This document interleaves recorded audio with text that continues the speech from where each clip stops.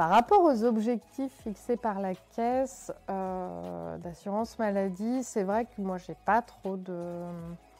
À la fois j'ai pas trop d'inquiétude, à la fois je me demande si un jour vraiment j'aurai 800 patients, vu que je suis installée depuis peu de temps, ça me paraît énorme. Mais euh, pour les objectifs en termes de patientèle, euh, bah, je vous dirais on verra. j'espère, j'espère vraiment que ça va fonctionner. La file active, oui, Vraiment, je pense que la file active, de toute façon, est augmentée parce que quand je vois le nombre de patients que je vois depuis que j'ai une assistante médicale par rapport au nombre de patients que je voyais avant, il y a une augmentation. Donc euh, là-dessus, je pense que ça va se pérenniser dans le temps.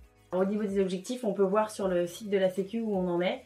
Euh, moi, je suis allée l'autre jour, donc euh, c'est hyper précis. On voit notre filière active avant, notre filière active maintenant. pareil pour la patientèle.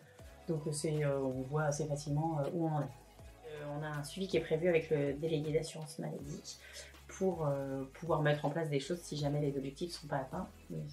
Alors, le financement du dispositif, ça fonctionne super bien. C'est-à-dire que quand on a engagé Maude, à peine 15 jours plus tard, j'avais 70% de, de l'aide pour l'année euh, sur mon compte, ce qui a permis de partir euh, sans problème sur les premiers mois pour la, pour comment, pour la payer.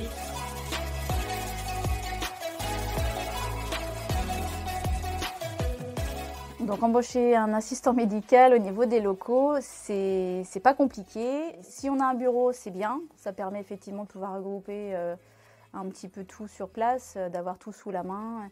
Mais euh, c'est faisable également dans un cabinet qui n'a pas de locaux dédiés, parce qu'on peut facilement effectivement mettre un paravent pour, pour du coup isoler un petit peu la pièce si on a certains soins à faire.